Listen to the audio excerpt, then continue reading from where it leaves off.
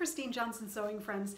So welcome to our uh, segment in our sew along on how to sew your first boyfriend jacket. We are going to be talking today about how to choose the perfect size for your boyfriend jacket. And uh, we want to talk a little bit about ease and about how that works whether you choose a woven, a stretch woven, or a stretch knit fabric like Ponte knit. So inside of your pattern jacket, you will see a document in here called um, Serging Cotton and Lycra Fabric. Okay, it's a general guide. And in there, Christine gives you some tips for working with cotton lycra fabrics, which is a great choice for the boyfriend jacket. You can also use a ponte knit. Um, but in there, on the back, she also gives you some information about ease and choosing non-stretch fabrics. So it's actually in your guide right in here, choosing non-stretch fabrics. Um, if the boyfriend jacket has ease in it, it's got, depending on the size you choose, between two and four inches of ease um, in the boyfriend jacket. So it's a slightly oversized garment. So if you were to make this in a woven in your size, it would likely fit, and it would probably fit without a problem. But what you want to be sure is that when you're working with a sewing pattern, that you take into consideration the hip measurement and whether you can button the jacket. Now, a lot of people don't necessarily want to button a jacket, and that's okay too. But I'm going to go ahead and put on a boyfriend jacket and kind of show you what I mean. All right, so I have a handy dandy boyfriend jacket right here. So I'm gonna go ahead and slip this one on. I believe this one is a small. So I'm gonna go ahead and slip this one on so you can see what I'm talking about. And like I said, the boyfriend has quite a bit of ease in it. So even in your size, you might need to size down if you're making it in a stretch knit fabric. So this is a boyfriend jacket in a small size. And as you can see, it fits over my hips, right? But if I were to choose if I were to make this in a woven fabric and not the stretch knit fabric, this is probably not enough ease. And the reason why I say that is if you look here, if I were to sit down in this jacket and it weren't a stretch fabric, it is fitting snug right here at the sides. So if this were made in say a wool, it's not gonna, it's not gonna fit me correctly if I have it buttoned up. So Christine developed over the years this concept of choosing fabrics based on their stretch characteristics and it evolved into something that she calls the perfect sizing worksheet. And I'm to grab that and show it to you. By the way, this is a download at cjpatterns.com slash blog, and you can go ahead and download it. We also have an extensive video on how to use the perfect sizing worksheet. So I'm not going to cover all the details about how to use the perfect sizing worksheet. I'm just going to talk about it in the context of the boyfriend jacket. So the idea behind the perfect sizing worksheet is that you take into consideration the stretch characteristics of the fabric that you're working with. So if I were making this boyfriend jacket in a wool that has no stretch right now, I would probably not be able to button this and work with it comfortably because this is a small boyfriend jacket. Okay, this is actually probably, I think it may even be an extra small. This is a small boyfriend jacket. I need a little bit more room in the hips if I want to feel comfortable. But this is a stretch fabric, so I don't really have to worry about it. As you can see, it fits. Okay, I've got enough room here in the bust and enough room in the bodice to be able to, to move around and I'm not uncomfortable because this happens to be a stretch fabric. But if I were to make this in a woven, I would need to go up a size in order for me to feel comfortable. So that's what the perfect sizing worksheet helps you do. So the gist of the perfect sizing worksheet is that you calculate the maximum stretch percentage using what's called tissue pattern measurements. Now also inside your um, boyfriend jacket envelope is a document called tissue pattern measurements and also we also have that linked on the page where you'll find this perfect sizing worksheet as well. So the tissue pattern measurements are what the pattern actually measures in your size, okay, less seam allowances. So if you take your ruler and you measured you put the, the front of the jacket less the facings, the back of the jacket and the front of the other side of the jacket, and you measured all the way across and it said 41 inches, and you know your hips are 42 finished measurements, you know that that jacket is not gonna fit you in the hips, right? So that's the idea behind the tissue pattern measurements. You can actually measure any sewing pattern, but Christine has already done the hard work for you and she's provided the tissue pattern measurements for you um, in the boyfriend jacket pattern itself, as well as most of our other patterns. So the tissue pattern measurement allows you to calculate what it would actually take if the fabric had no stretch or if it had lots of stretch. So let's say you made the boyfriend jacket in swimsuit fabric. You would never make it in swimsuit fabric. Please don't do that. But let's say you did. Swimsuit fabric has four-way stretch stretch characteristics and it's super stretchy. It's got like 100% stretch in either direction. So you can take a square of swimsuit fabric and stretch it all the way out to here. Now obviously at that maximum stretch it's not going to look really good, right? If you've ever seen people kind of sandwich themselves into swimsuits that are too small, you know what I mean. The fabric gets shiny and it stretches out too much or yoga pants that are too small is probably a better example. So you're never going to work with the fabric at its maximum stretch. What you want to do is simply simply calculate do you need to go up a size or down a size. Now, the whole idea behind the boyfriend jacket is you're just going to be determining do you need to go down one size or do you need to go up one size? And that's all pretty much all the range you're going to be working with. You are not going to say, I'm an extra small and I'm working with a woven, now all of a sudden I'm going to need to make a large that's not the case. You're gonna maybe, if you're if you're an extra small, you're gonna maybe make a small in a woven as opposed to an extra small. Um, and, and if you're, same conversely, if you're an extra large and you're making it in ponte knit, you're not all of a sudden gonna sew a small. You're gonna sew maybe a large because you have some stretch characteristics to the fabric, they're gonna make it comfortable for you to wear in a more fitted size. But you're looking to have a little bit of ease in the garment. And the ease is built in. You can see that it's still got a little bit of ease, even though when I button it, it's, you know, I don't have a whole lot of ease in here, right? It's touching the back of me back here in my hips, and it's touching the side of my hips right over here, right? So this one, if I made this in a woven, would not fit me very well. It would not be very comfortable. I'd have to leave it open, which I do most of the time anyway. That's the other thing with a jacket too. If you're never gonna button it, you can probably go the same size you would always make. So that's the importance of ease when you're talking about using the perfect sizing worksheet and it's selecting the right fabric. Now, let's talk a little bit about the fabric choices. We talked a little bit about this yesterday. So you can make the boyfriend jacket in a ponte, which is like this, stretch ponte knit. You can make the boyfriend jacket in a non-stretch wool. You could make it in a stretchy wool if you wanted to.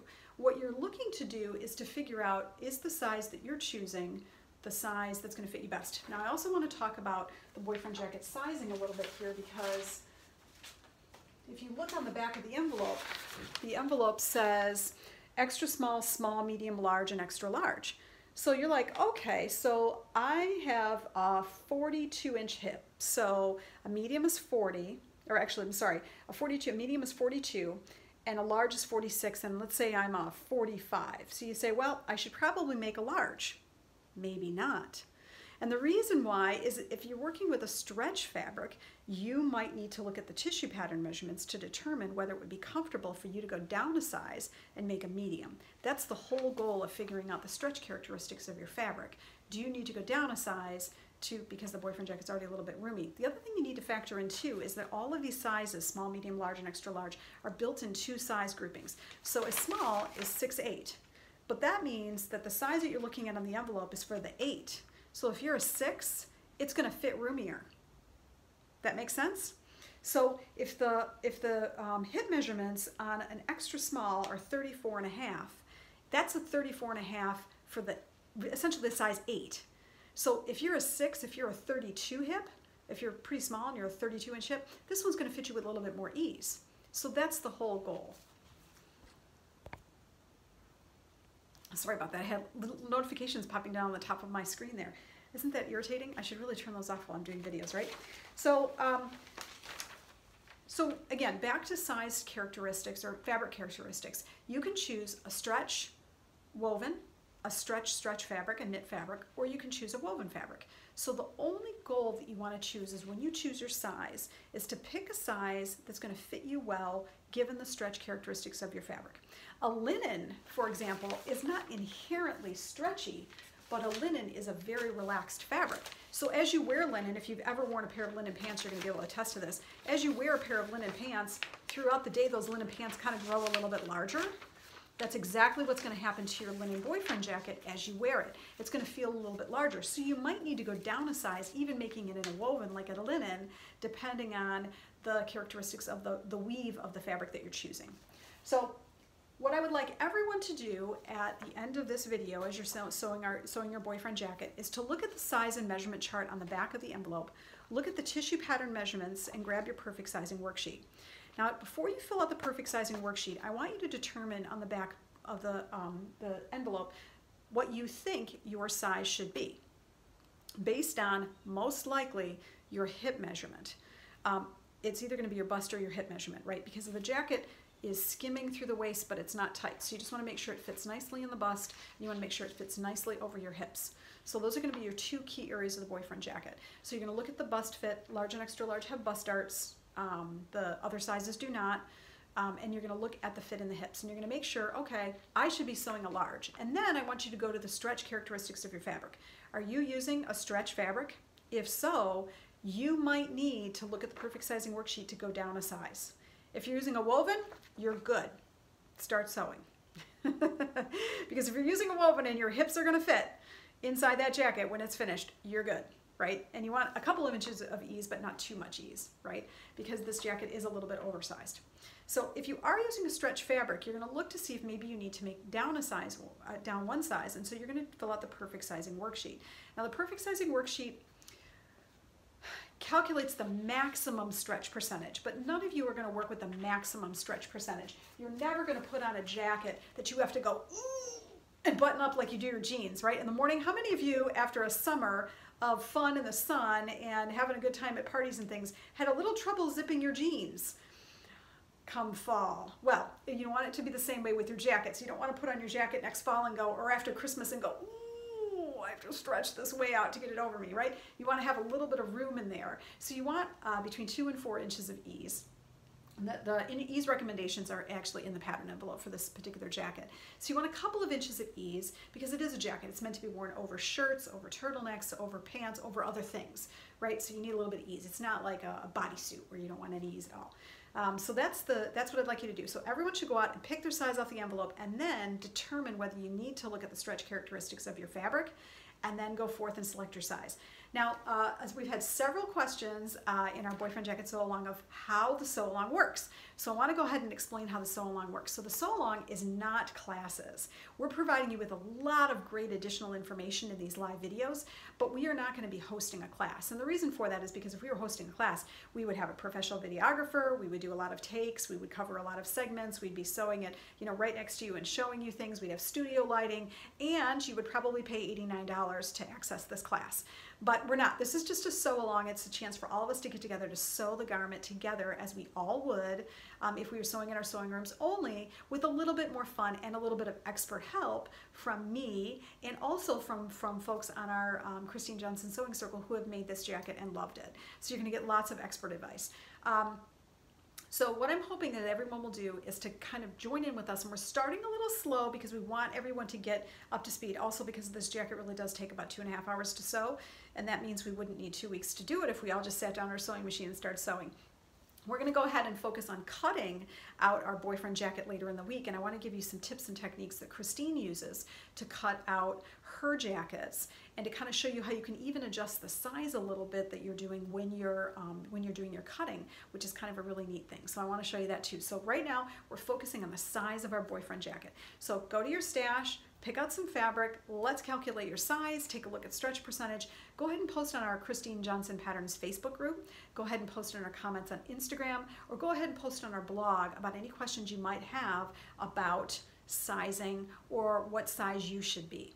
But if you're gonna be posting on there, my bust is a 36 inches and I wanna know what size to be, I'm gonna direct you back to the pattern envelope. I'm not gonna tell you what size you are because I want to empower you to begin to understand how to match pattern and fabric and size to choose the right size. I'm not going to say, oh, 36, you should be a small or you should be a medium or whatever it is. I'm going to say, these are the steps that you need to take to determine what size would be best for you. And then you can go forward and sew the boyfriend jacket confidently, knowing that when you make it next time, let's say your bust goes up or it goes back down or your hips get bigger or they get a little smaller, you can confidently know how to adjust the boyfriend jacket the next time you sew it. So thanks so much for joining us today, everybody. I hope this was helpful. Um, you can post on our cjpatterns.com um, blog, you can post on Facebook, or you can post in our private Facebook sewing circle, or you can put out a comment on Instagram. We will answer them all. Thanks for joining us.